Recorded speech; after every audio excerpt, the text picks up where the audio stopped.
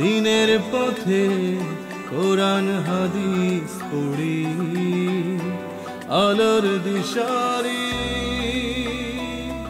আলোর দিশারি। আসসালামু আলাইকুম রহমতুল্লাহ ওবরাকাতহ হামিদান লিল্লাহ ওসালাত আসসালামু আলা রসুলিল্লাহ আবাদ সুপ্রিয় দর্শক, যা যেখান থেকে দেখছেন আপনাদের প্রিয় চ্যানেল বাংলা টিভির পর্দায় হোমল্যান্ড আবাসন, আলোর দিশারি powered by glamour LED TV এবং ইনান মেডিকেলস লিমিটেড সৌজন্যে রয়েছেন কমফোর্ট আবাসন limited trauma institute Maxmon pharma এবং অ্যাম্বাসেডার লিমিটেড প্রিয় দর্শক, প্রতিদিনের ন্যায় আজকেও আমরা অত্যন্ত গুরুত্বপূর্ণ জীবন ঘনিষ্ঠ একটি বিষয় নিয়ে উপস্থিত হয়েছি। আজ আমরা কথা বলব রমজানের শিক্ষায় পারিবারিক বন্ধন কেমন হওয়া উচিত, পারিবারিক বন্ধন কীভাবে সুদৃঢ় করা যায়, এ বিষয়ে কথা বলার জন্য আমাদের স্টুডিওতে উপস্থিত হয়েছে দুজন তরুণ বিজ্ঞ আলোচক। চলুন তাদের সাথে পরিচিত হয়ে নেই। আমাদের সাথে রয়েছেন তরুণ আলেমিদিন হজরত মাওলানা ফখরুল ইসলাম আজহারি শিক্ষার্থী আল আজহার বিশ্ববিদ্যালয় মিশর। আসসালামু আলাইকুম রহমতুল্লাহি তালা আবরাকাত রয়েছেন আরও একজন প্রথিত প্রথিতযশা আলেমেদিন হজরত মাওলানা মুফতি নজরুল ইসলাম খতিব আরজু শাহ জামে মসজিদ সায়দাবাদ ঢাকা। আসসালামু আলাইকুম রহমতুল্লাহি ওবরাকা প্রিয় দর্শক আমরা অতিথিদের কাছ থেকে গুরুত্বপূর্ণ আলোচনা শুনব। প্রথমেই মাওলানা ফখরুল ইসলাম আজহারি আপনার কাছ থেকে জানতে চাইব, রমজান তো চলে যাচ্ছে। রমজানে আমরা যে পারিবারিক বন্ধন সুদৃঢ় হওয়ার একটা সুযোগ আমরা পেয়েছিলাম এই রমজানে। তো রমজান পরবর্তীতে পরবর্তী সময় আমাদের এই পারিবারিক বন্ধন আসলে কীভাবে আমরা আরও সুন্দরভাবে গঠন করতে পারব এই বিষয়ে যদি আপনি বলতেন। জি, ধন্যবাদ। আব্দুর রহমান হুসাইনি ভাই, আপনি অত্যন্ত গুরুত্বপূর্ণ এবং সমসাময়িক একটি প্রশ্ন করেছেন। আমি প্রথমেই কৃতজ্ঞতা জানাচ্ছি। আর পাশাপাশি সকল দর্শককে জানাচ্ছি স্বাগতম আজকের এই প্রোগ্রাম থেকে।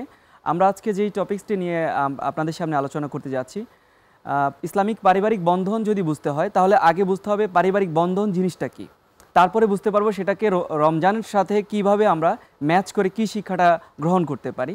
সেখান থেকে তাহলে পরিবার বলতে আমরা বুঝি একটা ছোট্ট ফ্যামিলি যা, বা একটা সংসার যেখানে মা বাবা ভাই বোন সহকারে যে আমাদের একটা সারাউন্ডিং ফ্যামিলি থাকে এটা আমরা খুব সংক্ষেপে বুঝি এটা পরিবার। পাশাপাশি হচ্ছে বন্ধন জিনিসটা।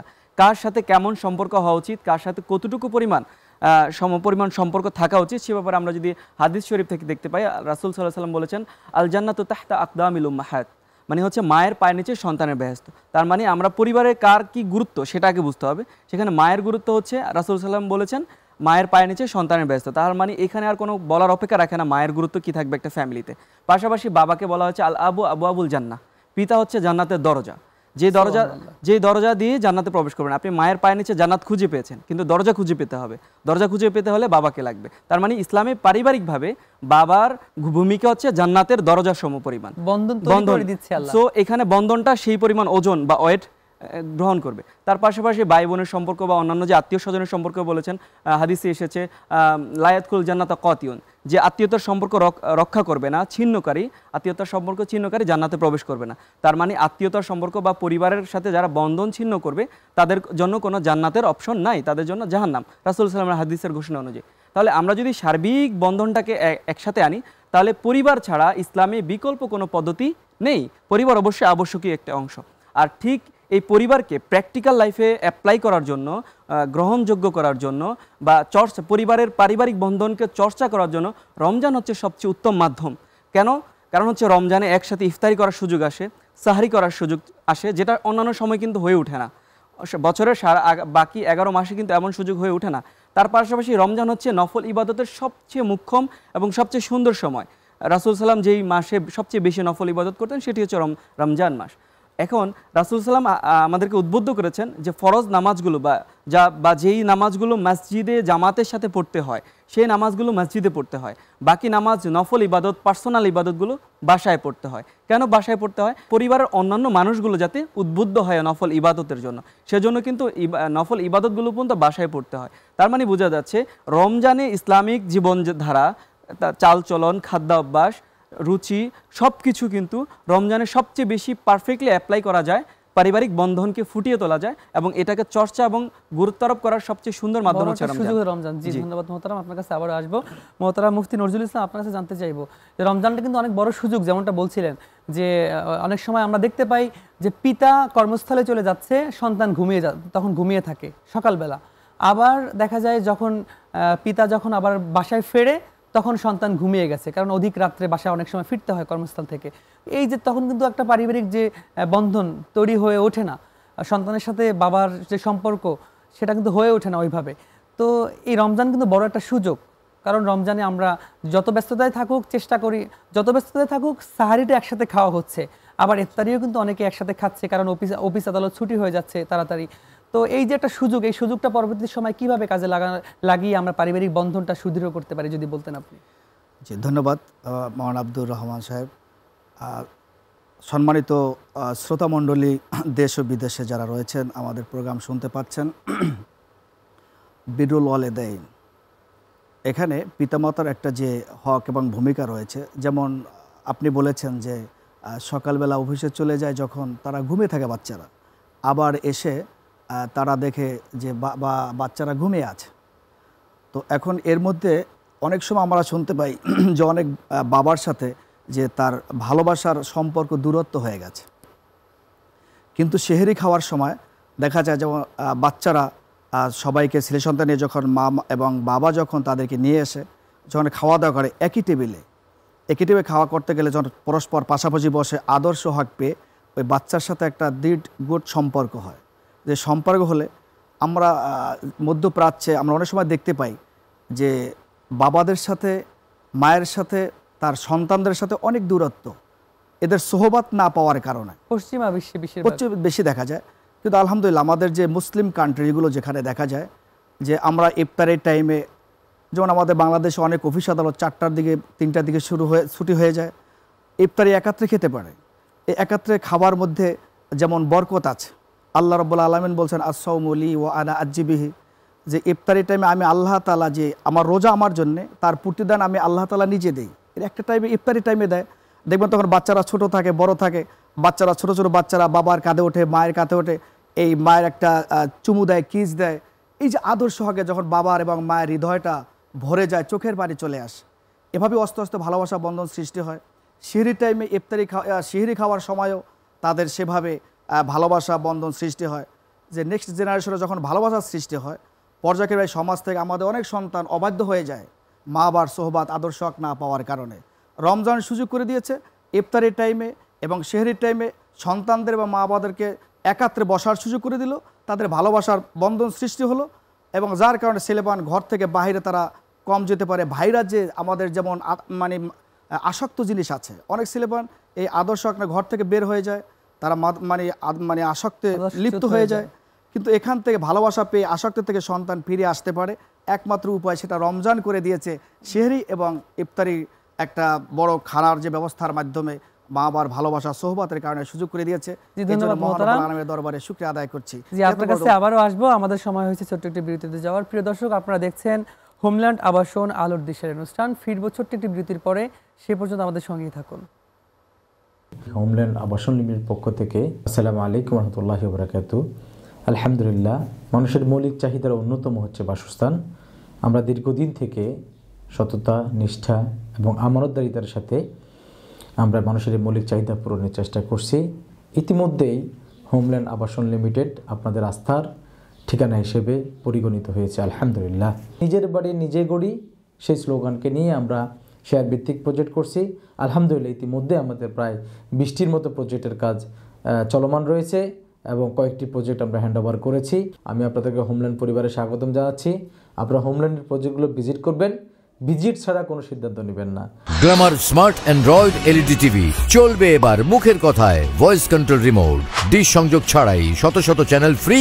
নিখুঁত কালার, ডিজিটাল সাউন্ড আছে play store Netflix Toffee Binge Zee five Zoom YouTube Imo Facebook e sharing glamour LED টিভিতে পাঁচ বছর প্যানেল গ্যারান্টি ও সাত বছর সার্ভিস ওয়ারেন্টি তো থাকছেই। গ্ল্যামার ইলেকট্রনিক্স ইন্ডাস্ট্রিজ লিমিটেডের সারা দেশের ডিলার নিয়োগ চলছে। গ্ল্যামার সবার জন্য আমাদের পণ্য। প্রিয় দর্শক, বিরতির পরে আবারও স্বাগত জানাচ্ছি হোমল্যান্ড আবাসন আলোর দেশের অনুষ্ঠানে। আমরা শুনছিলাম রমজান, রমজানের শিক্ষায় পারিবারিক বন্ধন কেমন হওয়া উচিত? আমরা চলে যাব মাওলানা ফখরুল ইসলাম আজহারি আপনার কাছে, যে আমরা অনেক সময় দেখতে পাই যে পরিবারের সাথে হয়তো একসঙ্গে বসবাস করতেছি। একই ফ্ল্যাটে, একই ছাতার নিচে, একই ছাদের নিচে আমরা বসবাস করি। কিন্তু আমরা পরিপূর্ণভাবে একজন আরেকজনকে বুঝি না। একজন আরেকজন- আরেকজনকে বোঝার চেষ্টা করি না। কারণ হচ্ছে কি? কারণটা হচ্ছে আমরা প্রপার যে টাইম অ্যাকচুয়াল টাইম যেটা কোয়ালিটি টাইম যেটা, সেটা দিচ্ছি না আমরা। পরস্পর পরস্পরকে। সন্তান তার বাবাকে কোয়ালিটি টাইম দেয় না। আবার বাবা তার সন্তানকে দেয় না।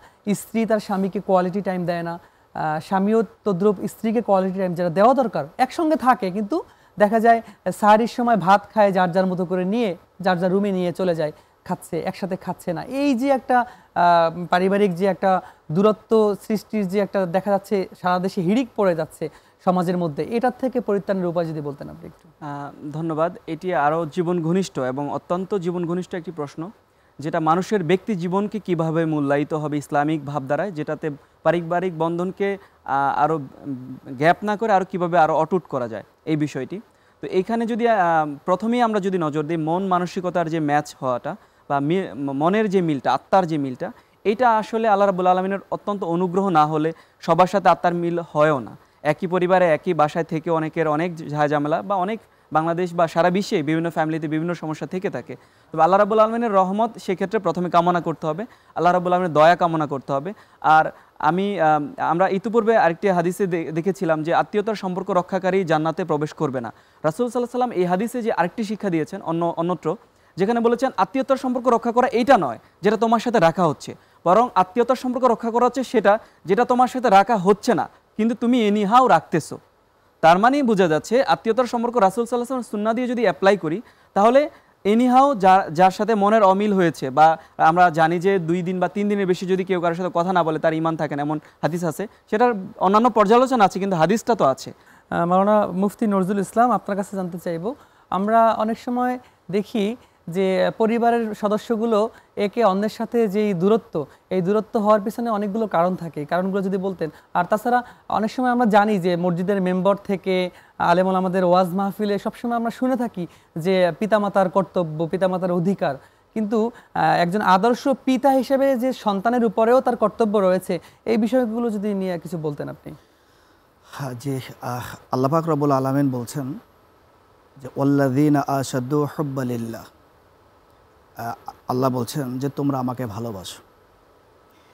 এই ভালোবাসার মধ্যে এই পরে একটা আয়তা আল্লাহ তালা বলছেন যে, আমি আল্লাহকে ভালোবাসতে গেলে উল ইন কুন্তুম তোহেবুল আল্লাহ ফাত্তাবিউনি এহেবি বেকুমুল্লাহ যে, আল্লাহ যদি আল্লাহ বলছেন, আল্লাহ রাসুল বল, শিখিয়ে দিয়েছেন যে, যদি আমি আল্লাহকে ভালোবাসতে চাই, আপনার উম্মতরা যেন আমি আল্লাহ, আপনি আল্লাহ রাসুলকে ভালোবাসি আর আল্লাহ রাসুল বলেছেন, যদি আমাকে ভালোবাসতে চাও, তাহলে তো আমার মাখলুক যে আমার উম্মত আছে তাদেরকে ভালোবাস।